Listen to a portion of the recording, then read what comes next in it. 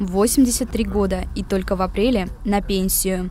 Бывшему начальнику участка энергетического производства химических средств защиты растений компании «Щелково Агрохим» Ивану Яковлевичу Маслюку в рамках Дня химика вручили почетную грамоту главы городского округа.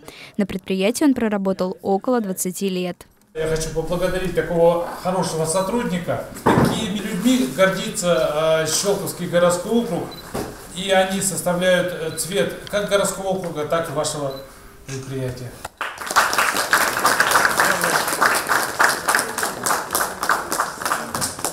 Как и всякой награде мы э, обрадовались, потому что вроде бы заслужили это, и все очень хорошо.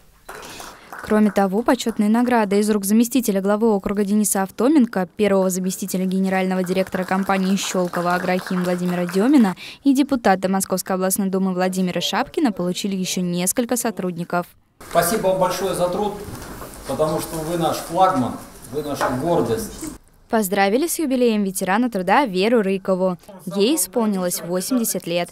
Всю свою жизнь Вера Павловна проработала в Звездном городке и трудилась на разных специальностях, от дворника до техника.